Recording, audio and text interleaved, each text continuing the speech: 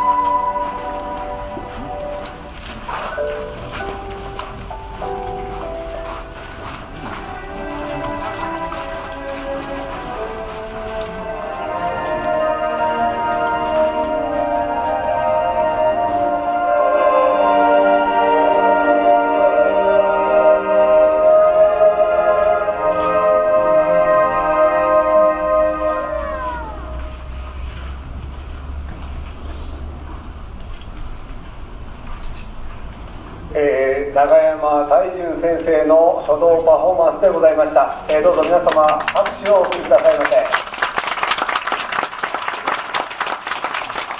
ーそれではここで、えーパフォーマンスをいただきました、えー永山大樹先生また木城先生、えーどうぞおこちらへお上がりくださいませ。ねえー地元堺にですねあの書道家の木陽さんと一緒に、えー出演させていただきまして、このような素晴らしい場所で飯をさせていただきまして本当にありがとうございます、えーちょっとえー一緒にお祭り、えーしたり、えー大鳥村地妙なの神様を、えー書かせていただきましたであの床にね、えー、拭いて大きくあの字を書かせていただいたのは師のあ師匠えーで私はあの大鳥ね、えー書かせていただきましたこちらにあの初めてねお伺いさせていただいた時に大鳥っていう字がね、大鳥がしだ様を捉えて、大鳥と名前それをね、あの知りまして、すごく、えー、感動しました。ね、あのこちらもね、えー大鳥大社様と共に、これから我々もね、高く仕上がっていきたい気持ちと、えー、鈴鹿の私、地元大鳥高校出身ですので、えーちょっとそういうあの気持ちも込めていただきました。本日は本当にありがとうございました。にふさわしい、えー字を描いていただき本当にありがとうございます、えーそれでは、えー最後に皆様お二人に盛大な拍手をお送りください。